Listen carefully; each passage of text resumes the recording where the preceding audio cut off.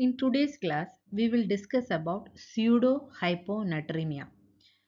So there is sodium which is there in the extracellular fluid. Major cation in the extracellular fluid is sodium. So this extracellular component has an aqueous component and a non-aqueous component. So normal distribution of aqueous is 93 percentage and the non-aqueous component is 7 percentage.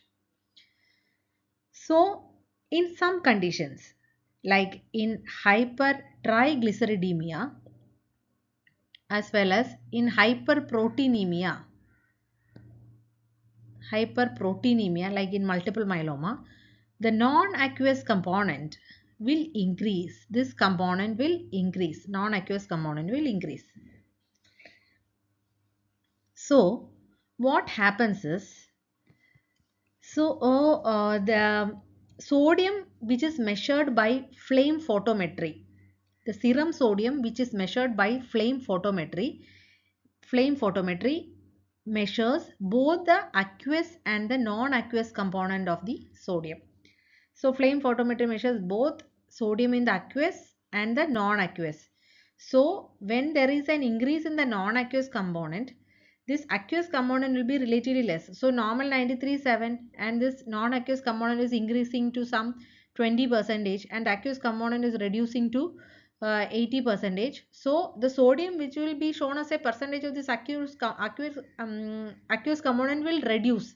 So if the sodium is measured by flame photometry in conditions where there is hypertriglyceridemia and hyperproteinemia, because of the increase in the non-aqueous component, the measured sodium will be shown low because of the reduction in the percentage of the aqueous component. But actually the amount of sodium will be normal if we selectively measure the aqueous component only. Because here we are taking it as a percentage. Since this percentage is increasing, this percentage will decrease.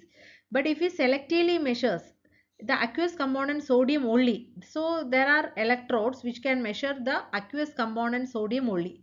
So that is like a specific uh, serum um, specific electrodes measuring only the aqueous component uh, is measured.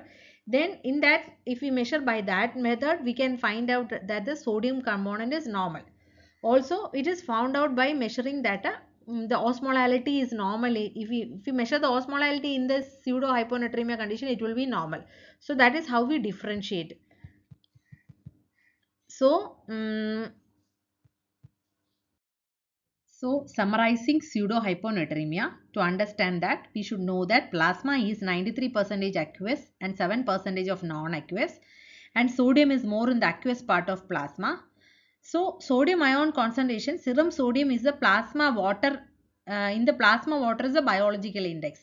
So what, so uh, usually sodium is measured by uh, flame photometry in which measures the whole uh, plasma uh, sodium which includes both aqueous and non-aqueous component.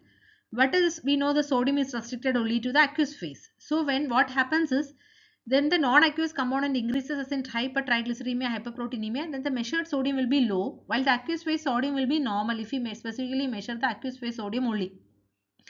So this is differentiated by knowing the plasma osmolality which will be normal. So this is isotonic hyponatremia and this problem can be solved by using ion specific electrodes which measures only the aqueous serum phase sodium only which gives the true serum sodium. So this is all about pseudo hyponatremia.